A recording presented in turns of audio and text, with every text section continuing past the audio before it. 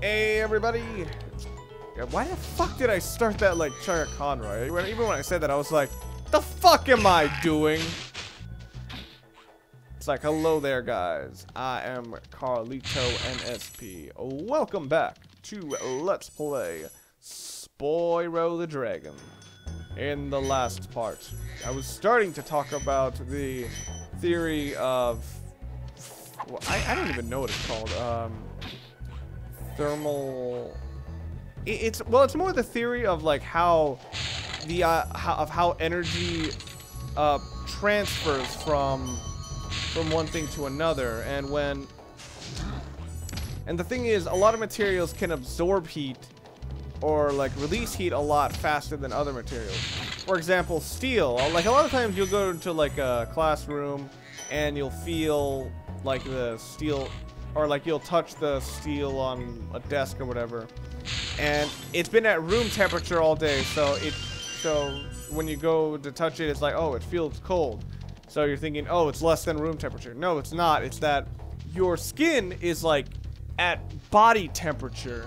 So when you're touching it, that what you're feeling isn't the like how cold it is, it's how much heat it's taking away from your fingertips. Alright, so that's kind of a what, what the hell? Why did I what did I, what was in there? Like my character bounced off. Asher. Thank you for releasing me. All right. Uh, but yeah, that's sort of the thing. Like, uh, what you feel isn't your, isn't how cold it is. It's your fingers getting colder, if you will. Hmm. I gotta wonder how many of you guys actually know where that "if you will" is from. If you will is just something that Dusty Rhodes used to say a lot. So a lot of people just make fun of him because of that. If you will, baby. So, off the cliff. Steel armor. Bad. It's not in season, bro. Alright. So. Oh, God, this. Oh, this was obnoxious. This, like, I try to position myself in pl places where I'm not going to get hurt. Always tricky.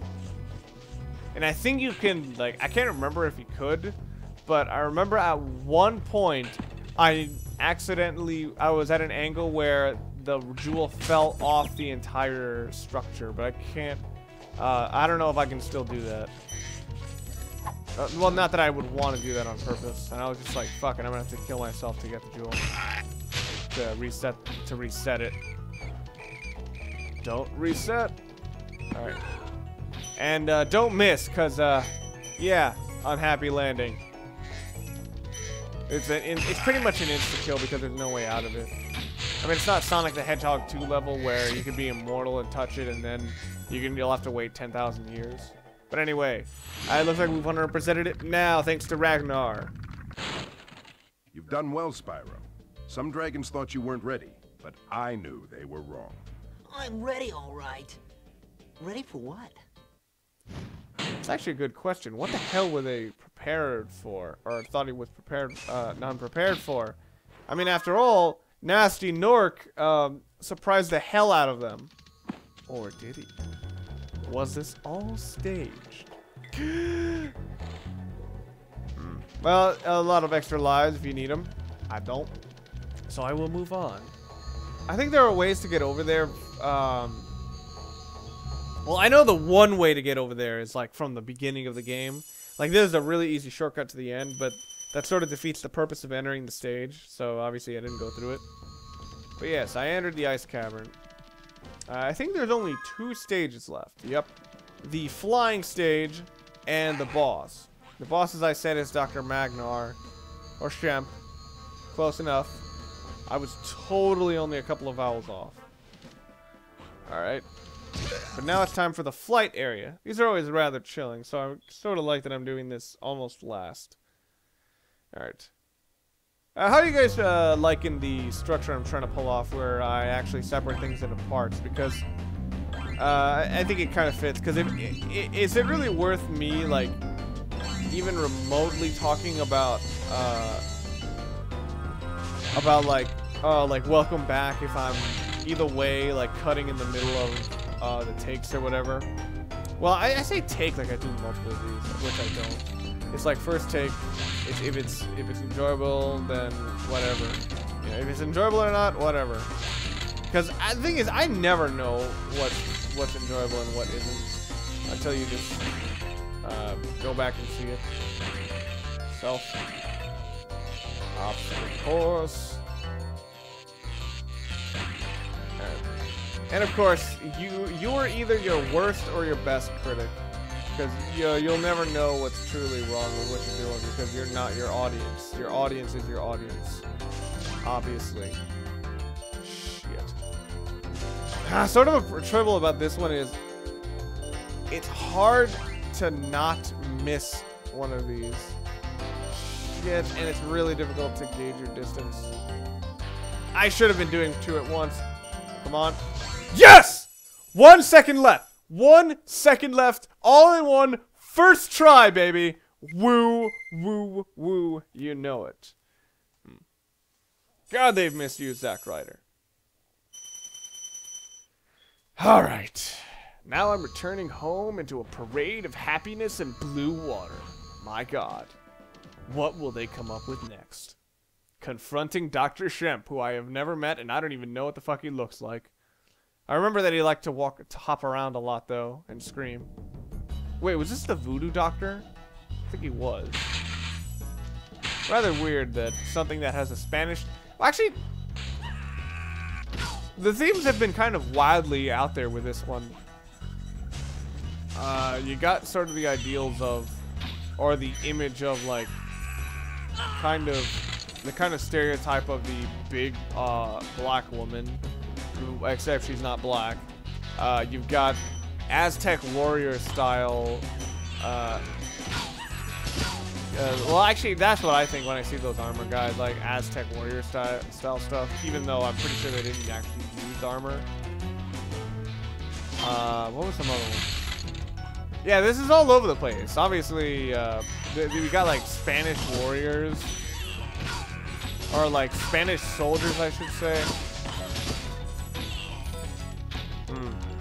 Not sure. This is this is a widely anachronistic time period and setting. I mean, the theme has been sort of deserty, but obviously, we just came out of an ice cave, or we came out of two things: an ice cave and a, a river area. And this is starting to show some like Peruvian architecture, or at least stuff I think is Peruvian. And like one entire spire, only there to hold one jewel, but it's worth 25 solid jewels. So it shows what I know. Alright. It's like, ah, no one will ever find it here, even though it sparkles and it's on something that's on a plateau. This guy, I think this guy's entire description of this doctor character can be described as he's fucking insane. Toronto, that's interesting. This guy thinks he's so cool. You don't know what it's been like listening to him over and over. But I'll tell you one thing. He should watch his back. So yeah, I'm assuming that's the hint. You should you should you should uh, roast his ass, of course. And of course, Spyro has a disapproving look of dissatisfaction. No. Whoa. Okay. Oh, thank you. Thank you for your dying body. Oh God, that's an out of context quote. But yes, thank God for her dying body because then I would have died. And here's the only big character who is not an icy, icy area.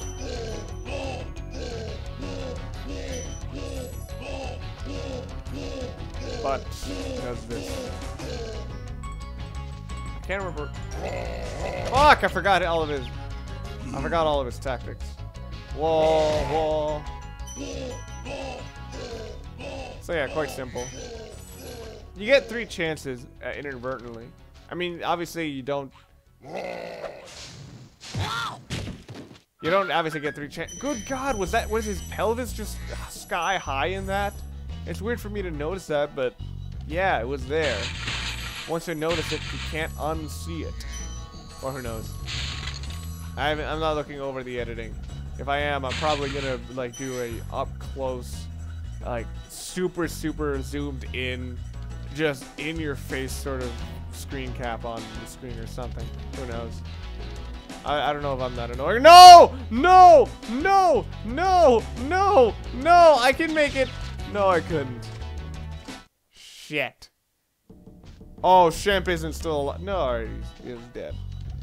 Alright, I would have been disturbed again by his uh, protruding pelvis. Alright. I need to stop charging. This is this. I remember this was my uh, big fault of the game. That, or no, my my fault when I played this game is that I would be a little impatient with exploring with exploring and just try to rush through everything.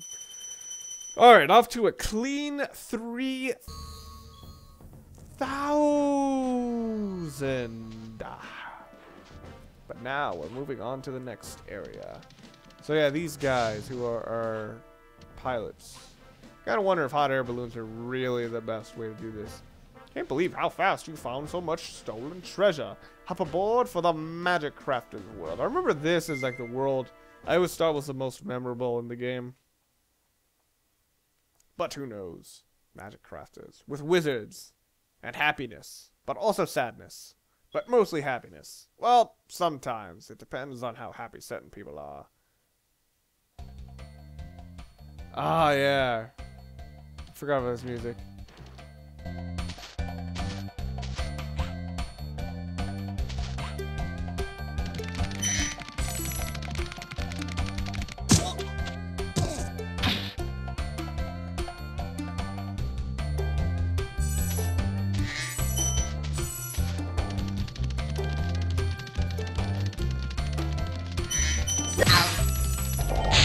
Yeah, that takes me back. Yeah, this is. I, I always like this world because it just had this sense of un unworldliness to it. Cosmos! Where's Welcome Wanda? to Magic Crafters. I want you to release the dragons, reclaim our treasure, and recover the eggs from those pesky blue thieves. Well, you're a rather demanding little motherfucker, ain't you? He's like a 10 pound dragon and it says, oh yeah, I want you to do all these things for me. Come on. Chop chop. they got Merlin dragons here. They're having a good time laughing at you. Oh my god, I just killed him with this. Alright. So, I believe we're coming across my... Actually, no, I, I have plenty of time. Alright. I, I, I have sort of an artificially imposed time limit on myself. Just so, like, episodes don't get absurdly long. I know some people may say, like, um, like, cheating content or something, but my point with this is more just that you can watch it in one sitting as a, and like, without taking up that much time.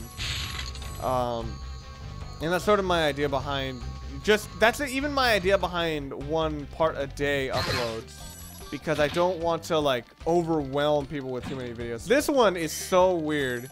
There's no structure, so there's nothing that you can know to avoid, and somehow I still did it in seconds. I I, I, may be the second coming. I, I'm, I'm warning you all, but if you see me in real life, you might explode. Because I, I just do these things, and I don't even realize it. Did I really just compare myself to Jesus? That is fucked up. Jesus! Got it. Yeah, I gotta get one of those in in every Let's Play. Uh, that wasn't enough. Alright. Wait, wait, wait, wait, wait. Uh, hold on. If I'm nearing the part, this part of the episode. Oh, wait. Hold on. Uh, this mechanic is really cool. I like this one. When you see arrows like these, you can charge along with them to begin a supercharge. Supercharge? Excellent. Go ahead, try it. Excellent. Alright. If I'm going to end this episode, well, I'm not going to end this episode yet. I'm to explore this little cove. Alright, did I get the key yet? Nope. I think it's later on. Alright, so now I will attack them. Ah! And they laugh at you in your face. So now you are dissatisfied. And now you come up here to ponder your meaning in life. To look at the snowy mountains and just realize how insignificant you truly are in this world. So, while you do that, I shall end this video. So next time on Let's Play Spyro the Dragon,